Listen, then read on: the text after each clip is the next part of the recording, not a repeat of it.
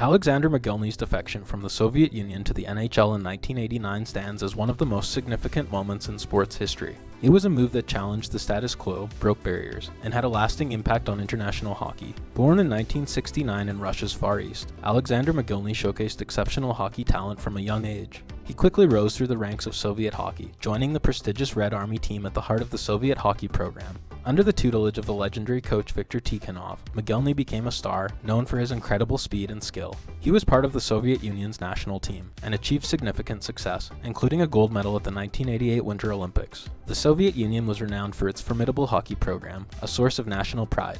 Governed by strict state control, the Soviet hockey system was an integral part of the country's propaganda machinery during the Cold War era. Soviet players were subjected to rigorous training regimes and were often isolated from the Western world, both ideologically and physically. The late 1980s marked a period of transformation in the Soviet Union, Mikhail Gorbachev's policies of glasnost and perestroika led to a softening of the rigid structures that had defined Soviet society. This shift provided a backdrop for the eventual migration of Soviet hockey players to the NHL. The decision to defect was as much a personal choice for Mogilny as it was a statement against the restrictive Soviet sports system. Athletes were often used as political tools, with their freedoms severely limited. For Mogilny, defecting offered not just the chance to play in the world's best hockey league, but also an opportunity for personal freedom and self-determination.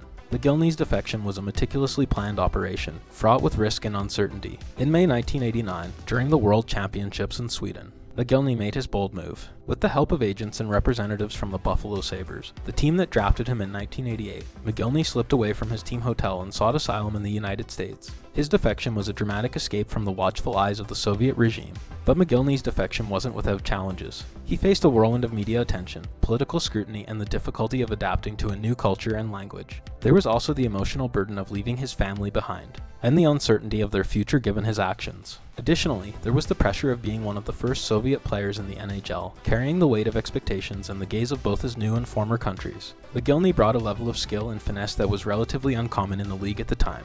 His playmaking ability, combined with his speed and scoring prowess, quickly made him one of the most exciting players to watch. Mogilny's success helped pave the way for others like Sergei Fedorov, Pavel Bure, and Igor Larionov to join the NHL. The skill and flair of Soviet and Eastern European players added a new dimension to the game captivating fans and inspiring a generation of players. The influence of these players can be seen in the increased emphasis on speed and skill in modern hockey. Mogilny's defection also had far-reaching implications beyond the realm of sports. It symbolized a crack in the Soviet Union's control over its citizens and athletes. In the broader context of the Cold War, Mogilny's move can be seen as a part of the larger tapestry of events leading to the thawing of Cold War tensions and the eventual dissolution of the Soviet Union. Mogilny went on to have an illustrious NHL career, including a 76-goal season in 1992-93. His courage to defy the constraints of his time to pursue his dreams in the NHL not only shaped his destiny but also transformed the world of hockey. His legacy extends beyond his impressive statistics. Mogilny remains a symbol of the triumph of individual freedom over systemic constraints, embodying the spirit of perseverance and the pursuit of excellence against all odds.